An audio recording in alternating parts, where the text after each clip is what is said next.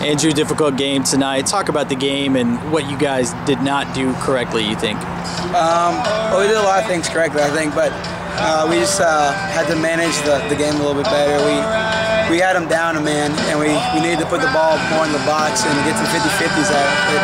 And we needed to get the ball a little bit more wide. Our service, I don't think was the best that we've had. We've been doing good in practice and like the past two games, but service was all was all right, just all right. And uh, I don't know. We just gotta get the the grit going.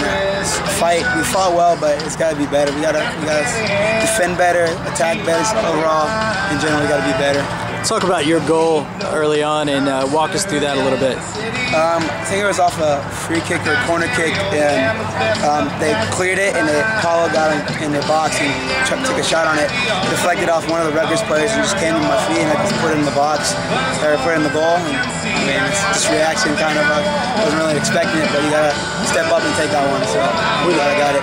With it being senior night, talk about what the this senior class means to you as an underclassman. Man, it means that means a lot to me. They, when I came in here, they they set the tone early.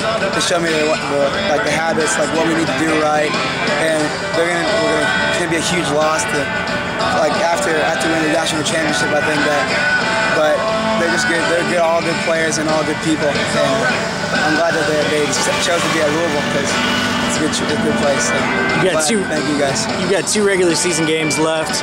Uh, what do you personally need to work on ahead of those two games? We just gotta we gotta get two wins. Uh, no no questions asked. We gotta get two. We gotta get six points out of the next two games, so we can get a better seed in the Big East. And then from then on, we're just gonna keep on winning, keep on grinding each game at a time. So that's what we gotta do.